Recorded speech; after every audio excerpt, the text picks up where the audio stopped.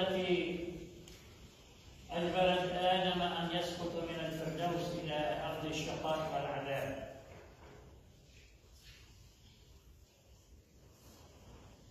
ولا نبصر أيضا نور الله الذي يحيي القلوب وينتشل الإنسان من الظلمة إلى النور.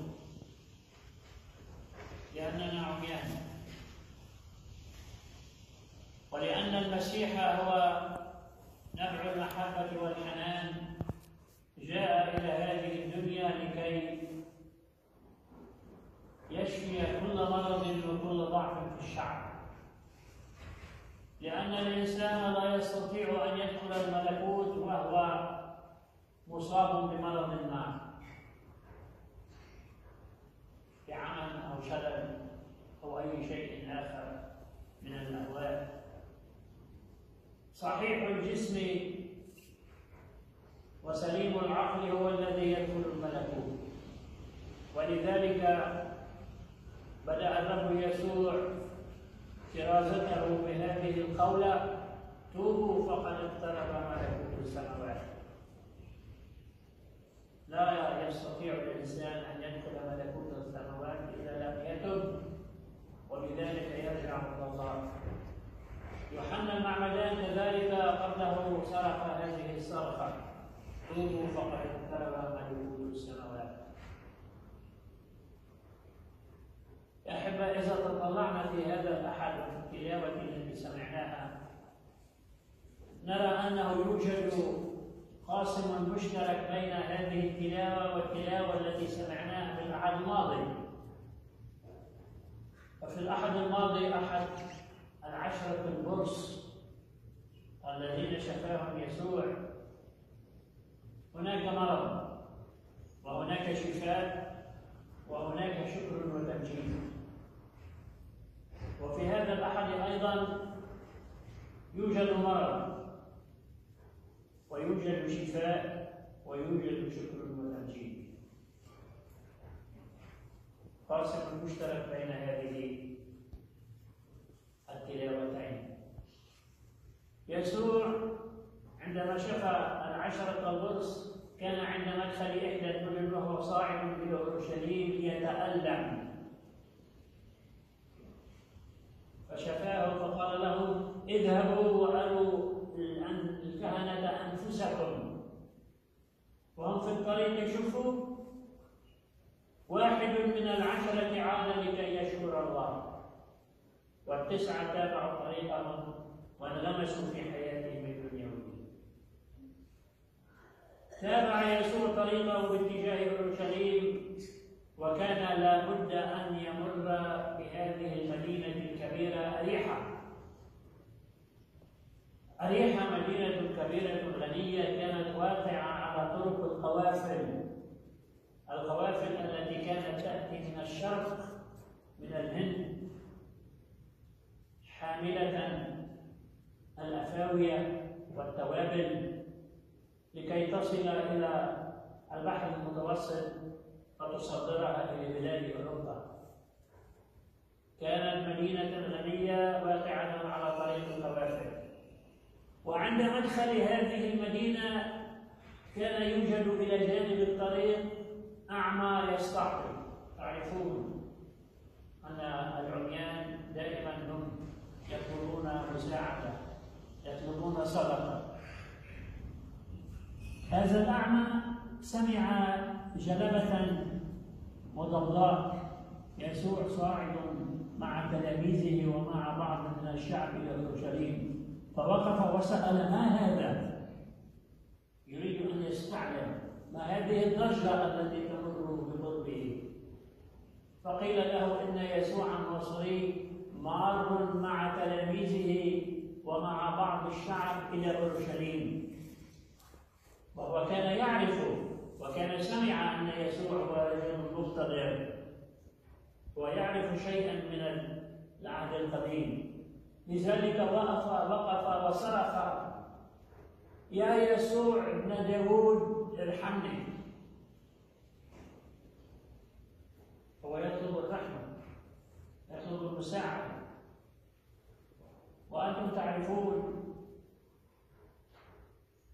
أن هؤلاء الذين الأتباع والأزلام الذين يتبعون شخصية ما عندما يكون هناك شيء معوق في الطريق كانوا يبعدونه. فالمتقدمون من هذه المسيرة مسيرة يسوع أخذوا يزجرونه ويبعدونه عن الطريق. ولكنه وقف تشبث وازداد صراخا. يا يسوع ابن داود ارحمني. لأن النفس التي تتألم والتي تطلب الرب يسوع لكي يسكب عليها الحنان والرحمة لا يمكن أن يقف في طريقها. أي عائق وأي حاجز هم يجزرونه لكي يبعدونه وهو يتشبث ويصرخ يا ابن داود ارحمني. عند ذلك وقف الرب يسوع وقال لهم قدموه إلي. فتقدم الأعمى ووقف أمامه فقال له الرب يسوع ماذا تريد أن أصنع لك؟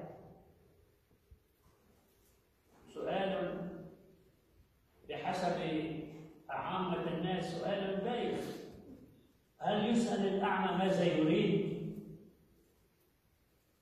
ولكن يسوع تقصد أن يسأله هذا السؤال لكي يسمع من فمه الطلب إلى المقتدر الوحيد.